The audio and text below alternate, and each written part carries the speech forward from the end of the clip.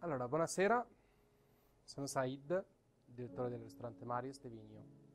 Stasera vorrei spiegarvi un metodo classico per avvinare il bicchiere, così rende molto più il sapore, l'odore e cambia totalmente il gusto del vino.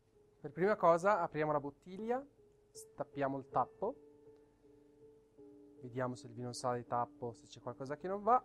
In questo caso abbiamo il vino ottimo e poi facciamo in modo che sia un po' elegantino e allora mettiamo il tappo attaccato alla bottiglia.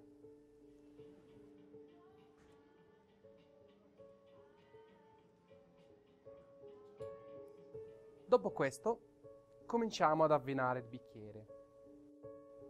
Avvenare il bicchiere è un modo molto semplice, però non tutti lo sanno fare perché è un modo molto classico, diciamo. In questo caso giro il bicchiere su un tovagliolo di stoffa e lo avvino. Una volta girato il vino su un bicchiere, va attraversato su un altro bicchiere e così via fino all'ultimo. Perché facciamo questo? Allora, ci sono due motivi ben precisi. Il primo,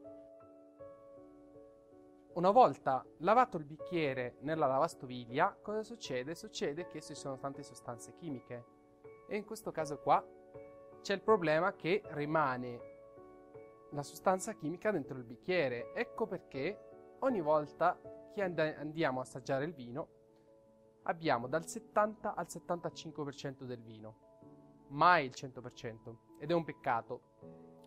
In questo caso qua abbiamo il 100% del vino. Perché? Perché lo, lo beviamo e lo respiriamo, per cui diventa molto diverso.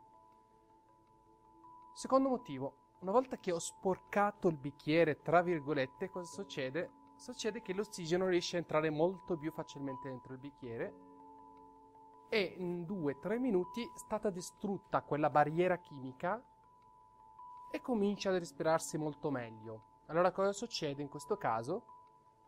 Succede che abbiamo un vino perfetto, tante volte, senza avviare il bicchiere, succede che vai a finire la bottiglia e purtroppo il vino non è stato ancora aperto e allora vai a perdere ed è un peccato.